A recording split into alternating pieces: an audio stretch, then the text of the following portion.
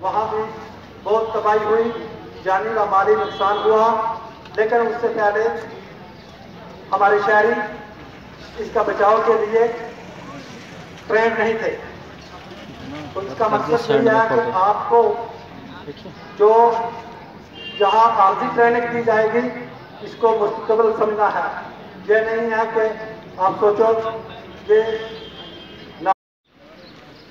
Assistant commissioner बोहनी साहब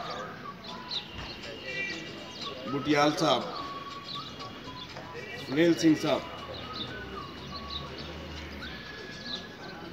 जिला सतह के ऑफिसर साहिबान, डॉक्टर यहाँ पे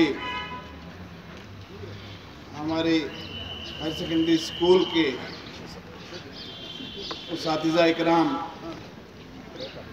यहाँ पे इस ट्रेनिंग में पार्टिसिपेट करने के लिए आए हुए आवाम और स्कूल के बच्चे, मेरा आप सबको सलाम आदाब है।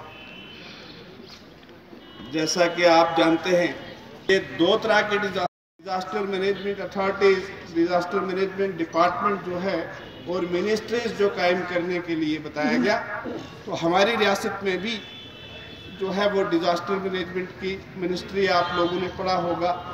चंद दिनों पहले, चंद हफ्तों, एक या दो हफ़्ता पहले की बात है।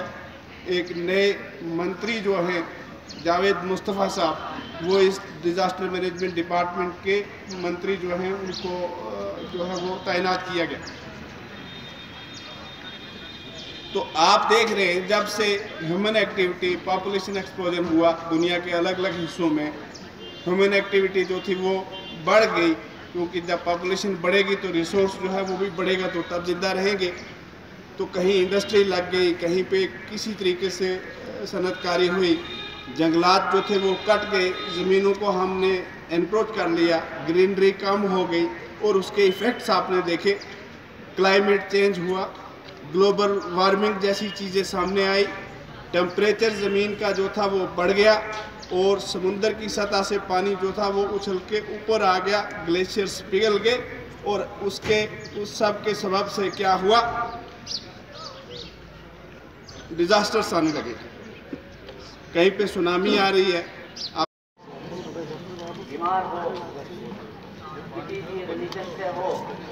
वो ये चीज़ें है और बहुत सारी बच्चों में जानकारी बच्चों में अगर जानकारी पूरी हो डिजास्टर को कोई भी रोक नहीं सकता।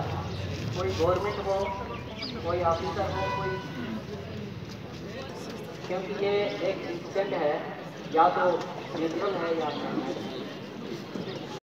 ताकि मरीज़ को हॉस्पिटल पहुँचाया जा सके।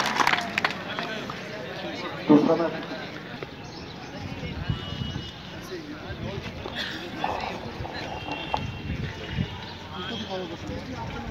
विक्टम को बिठाओ आराम के साथ उसको कहीं भी ले जाएँगे। रखो। रखो।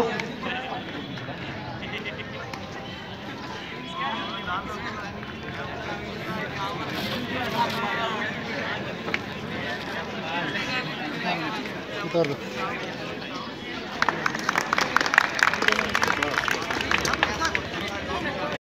ताकि मरीज़ को हॉस्पिटल पहुँचाया जा सके।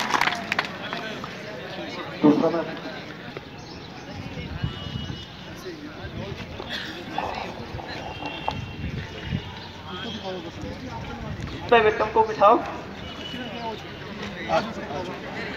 आराम के साथ उसको कहीं भी ले जाएँगे। रखो। रखो।